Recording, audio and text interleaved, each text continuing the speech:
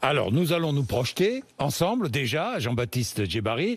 La SNCF, 100% du trafic des trains, quand? À partir de quand?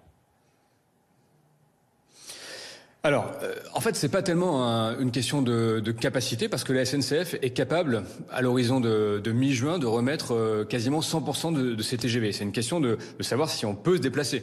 Vous savez qu'actuellement, nous avons environ 40% des TGV.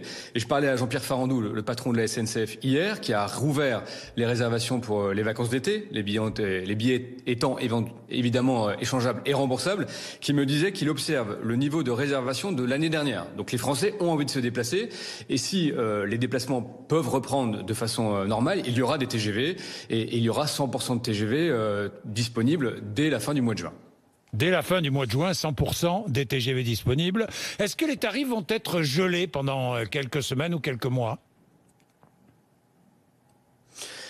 En, tout cas, euh, cela renvoie un peu à la politique commerciale de la SNCF, mais là-dessus, Jean-Pierre Farandou a eu un engagement très clair et nous en avons discuté et, l'État et le gouvernement lui a demandé effectivement de continuer à pratiquer les, mêmes tarifs qui prévalaient euh, avant crise. Il, est, il paraît évident et d'ailleurs il est souhaitable que euh, le train reste un des euh, outils de déplacement préférés des Français et que pour cela, les prix pratiqués soient ceux qui sont traditionnellement connus. Donc il n'y aura pas d'inflation tarifaire, il n'y aura pas des, des prix pratiqués à l'occasion de cette reprise qui sont supérieurs à ceux que les Français euh, connaissent habituellement.